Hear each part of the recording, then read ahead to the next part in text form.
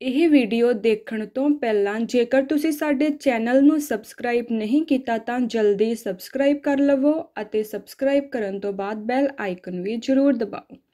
ਤਾਂ ਜੋ ਸਾਡੀਆਂ ਆਉਣ ਵਾਲੀਆਂ ਨਿਊ ਵੀਡੀਓਜ਼ ਦੀ ਨੋਟੀਫਿਕੇਸ਼ਨਸ ਤੁਹਾਨੂੰ ਸਭ ਤੋਂ ਪਹਿਲਾਂ ਮਿਲ ਸਕਣ। ਚਲੋ ਗੱਲ ਕਰਦੇ ਹਾਂ ਅੱਜ ਦੀ ਇਸ ਵੀਡੀਓ ਦੇ ਬਾਰੇ 'ਚ। ਸਾਨੂੰ ਸਾਰਿਆਂ ਨੂੰ ਹੀ ਪਤਾ ਹੈ ਕਿ ਜਦੋਂ ਕਿਸੇ ਵੀ ਇਨਸਾਨ ਨੂੰ ਨੇਮ ਅਤੇ ਫੇਮ ਮਿਲਦਾ ਹੈ ਤਾਂ ਉਸ ਦੇ ਨਾਲ ਝੂਠੀਆਂ ਅਫਵਾਹਾਂ ਅਫਵਾਹਾਂ ਜੁੜ ਹੀ ਜਾਂਦੀਆਂ ਹਨ। ਅਤੇ ਲੋਕ ਉਹਨਾਂ ਦੇ ਨਾਲ ਅਜਿਹੀਆਂ ਘਟਨਾਵਾਂ ਨੂੰ ਜੋੜ ਕੇ ਉਹਨਾਂ ਦਾ ਮਜ਼ਾਕ ਬਣਾਉਂਦੇ ਹਨ। ਕਿਉਂਕਿ ਅਸੀਂ ਆਮ ਹੀ ਦੇਖਦੇ ਹਾਂ ਕਿ ਸਿਤਾਰਿਆਂ ਦੇ ਨਾਲ ਅਜਿਹੀਆਂ ਬਹੁਤ ਸਾਰੀਆਂ ਘਟਨਾਵਾਂ ਆਪਣੇ ਆਪ ਹੀ ਜੁੜ ਜਾਂਦੀਆਂ ਹਨ, ਜਿਨ੍ਹਾਂ ਦਾ ਉਹਨਾਂ ਦੀ ਨਿੱਜੀ ਜ਼ਿੰਦਗੀ ਦੇ ਨਾਲ ਕੋਈ ਲੈਣ ਦੇਣ ਨਹੀਂ ਹੁੰਦਾ। ਇਸੇ ਤਰ੍ਹਾਂ ਦੀ ਹੀ ਇੱਕ ਘਟਨਾ ਸੋਸ਼ਲ ਮੀਡੀਆ ਉੱਤੇ ਬਹੁਤ ਹੀ ਜ਼ਿਆਦਾ ਫੈਲ ਰਹੀ ਹੈ, ਜਿਸ ਵਿੱਚ ਇਹ ਦੱਸਿਆ ਜਾ ਰਿਹਾ ਹੈ ਕਿ ਬਾਲੀਵੁੱਡ ਇੰਡਸਟਰੀ ਦੀ ਬਹੁਤ ਹੀ ਮਸ਼ਹੂਰ ਗਾਇਕਾ ਨੇਹਾ ਕੱਕੜ, ਉਸਨੇ 4 ਬੱਚਿਆਂ ਨੂੰ ਜਨਮ ਦਿੱਤਾ ਹੈ। ਦੱਸ ਦਈਏ ਕਿ ਪਿਛਲੇ 1-2 ਮਹੀਨੇ ਪਹਿਲਾਂ ਉਹਨਾਂ ਨੇ ਇੱਕ ਗਾਣੇ ਦੇ ਸ਼ੂਟ ਦੇ ਲਈ ਇੱਕ ਪ੍ਰੈਗਨੈਂਟ ਔਰਤ ਦਾ ਕਿਰਦਾਰ ਨਿਭਾਇਆ ਸੀ ਅਤੇ ਉਸ ਕਿਰਦਾਰ ਨੂੰ ਲੈ ਕੇ ਵੀ ਲੋਕ ਬਹੁਤ ਹੀ ਜ਼ਿਆਦਾ ਸੀਰੀਅਸ ਹੋ ਗਏ ਸਨ ਕਿ ਵਾਕਿਆ ਹੀ ਨੇਹਾ ਕੱਕੜ ਅਸਲ ਵਿੱਚ ਪ੍ਰੈਗਨੈਂਟ ਹੈ।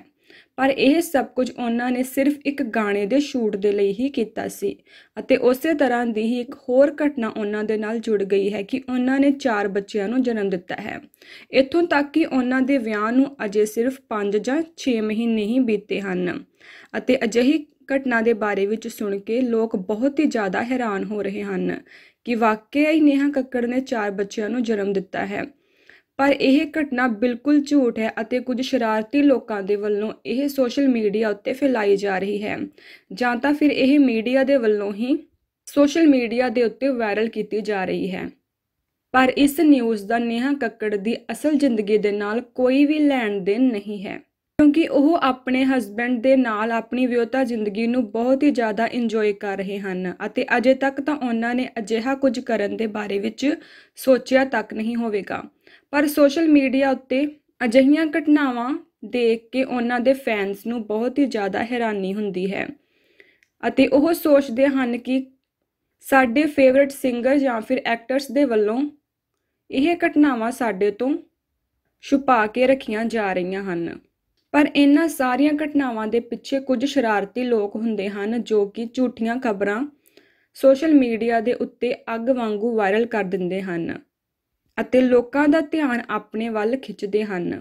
ਪਰ ਨੇਹਾ ਕੱਕੜ ਨੂੰ ਲੈ ਕੇ ਜਿਹੜੀ ਵੀ ਨਿਊਜ਼ ਸੋਸ਼ਲ ਮੀਡੀਆ ਉੱਤੇ ਫੈਲ ਰਹੀ ਹੈ ਉਸ ਦੇ ਵਿੱਚ 1% ਦੀ ਵੀ ਸਚਾਈ ਨਹੀਂ ਹੈ ਅਤੇ ਇਹ ਖਬਰ ਇੱਕਦਮ ਫੇਕ ਹੈ।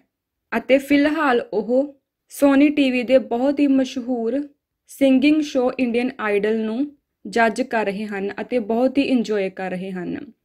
ਸਾਡੀਆਂ ਅਜਿਹੀਆਂ ਹੋਰ ਵੀਡੀਓਜ਼ ਨੂੰ ਦੇਖਣ ਦੇ ਲਈ ਸਾਡੇ ਚੈਨਲ ਨੂੰ ਸਬਸਕ੍ਰਾਈਬ ਕਰਨਾ ਨਾ ਭੁੱਲਣਾ। ਧੰਨਵਾਦ।